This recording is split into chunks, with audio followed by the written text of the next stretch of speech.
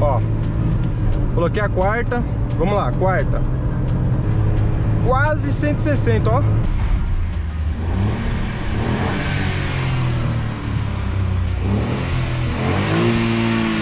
Ó, freio tudo. Fala turma, como é que vocês estão? Eu sou o Ale e hoje, pessoal, trago para vocês o teste acelerando esse carrinho aqui sensacional. Ford K 1.0 3 cilindros. Vou mostrar para vocês vários pontos, acelerando parado, tá? Frenagem a 100 km por hora e aceleração em ordem de marcha, onde eu testo toda a relação de marcha desse grande modelo, tá certo? Falando da sua motorização rapidamente, o motor é 1.0 3 cilindros, tá? 12 válvulas, potência de 85 cavalos, isso a 6.500 rotações, tá? O torque máximo é 10,7 kgfm, isso a 3.500 rotações e tem um câmbio aí manual de 5 marchas, tá certo? O peso total dele é de 1.040 quilos, 1.042 quilos na verdade, e o 0 a 100 é 14,8 segundos, com velocidade máxima de 166 km por hora. Então o teste vocês vão acompanhar a partir de agora. Acompanhe aí, se inscreve no canal também, deixa o like aí se você gostar. E é isso aí, pessoal. Estamos aqui no Ford K, tá certo? A chave dele aqui, ó. Vamos começar aqui o vídeo e, e o, o teste acelerando. Ford K em funcionamento, tá?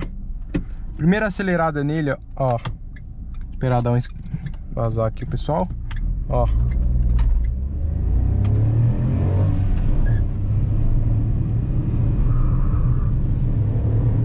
Pessoal, ele é um carrinho bem estável, tá?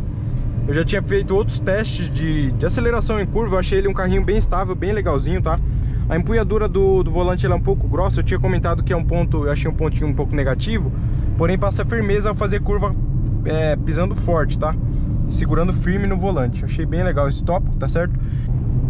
Vou parar aqui para fazer o teste é, de aceleração parado, né? Aproveitando que tá vindo o carro ali, vamos lá.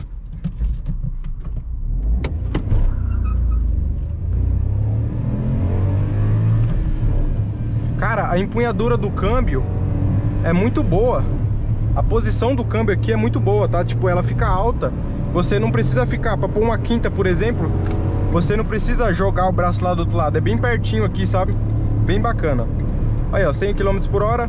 Vou colocar uma quinta aqui para vocês verem a relação da marcha, ó. Quinta, quinta, né? Vou jogar aqui para direita.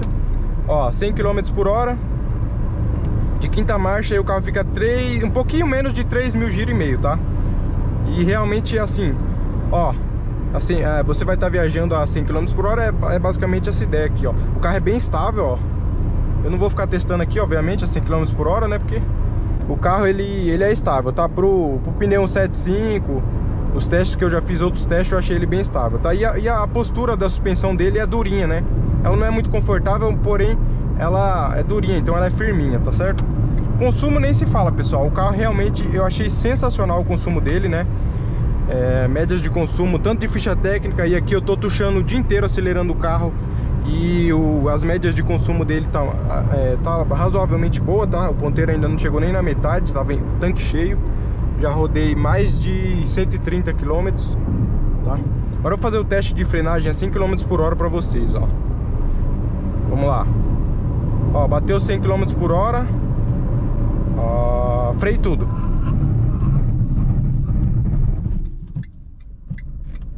Aí, ó. Ele aciona esse bipzinho, né? E com o pisca-alerta de segurança e tudo mais. Ah, pessoal, outro tópico que eu esqueci. Você não consegue andar sem o cinto, ó. Tirei o cinto. Ele fica esse barulhinho enchendo o saco. E a porta, se ela estiver aberta, ela avisa, tá? É um ponto de segurança bem bacana também. Agora aceleradinha aqui no túnel desse carrinho com motorzinho 3 cilindros, que eu acho sensacional o ronquinho desses motorzinhos, tá? Eu acho muito bacana realmente. Ó, segura aí.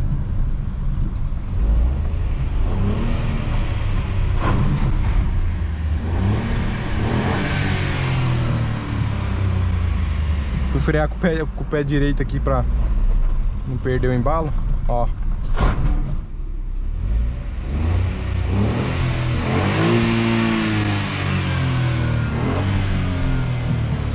Esse barulho que ele fez agora, vocês viram, né? Isso aí é o ABS, pessoal. Tipo assim, ele, ele pressiona contra o freio para soltar o freio do seu pé aqui. Por isso que faz esses barulhos estranhos.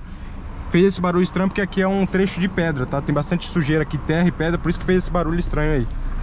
Mas é isso, pessoal. Agora vamos fazer a aceleração em ordem de marcha, tá certo? Vamos lá. Primeira marcha. Primeira marcha. O Ford Casinho vai bater aí. 40.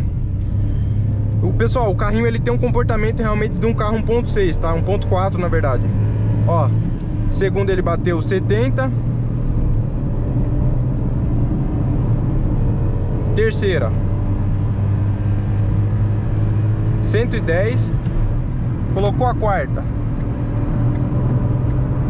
Nossa, hoje tá um pouco cheio, pessoal.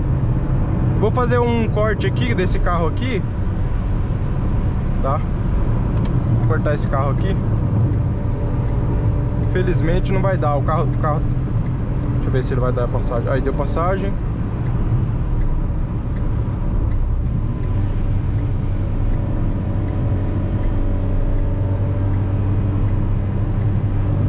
Vamos ver aqui. Ó. Coloquei a quarta. Vamos lá, quarta. Quarto, o carrinho vai bater aí de quarta. Caracas. 150. Quase 160, ó. Aí você coloca a quinta e você vai embora, cara. Realmente bem bacana, ó. Dá pra passar esse caminhão aqui.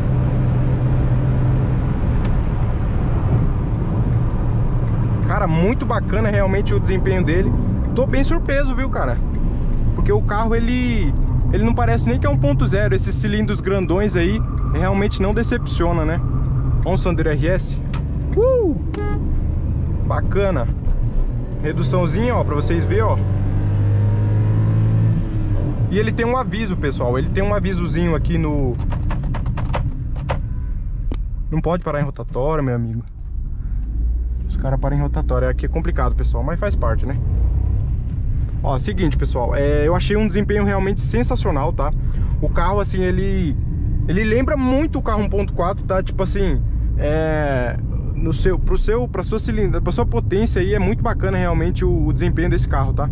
Pontos negativos é que ele vibra bastante, tá? Você andando na cidade, você pode se incomodar um pouco, um pouco, mas assim, na estrada realmente vocês vê que é bem bacana o carro, o desempenho é bem bacana mesmo.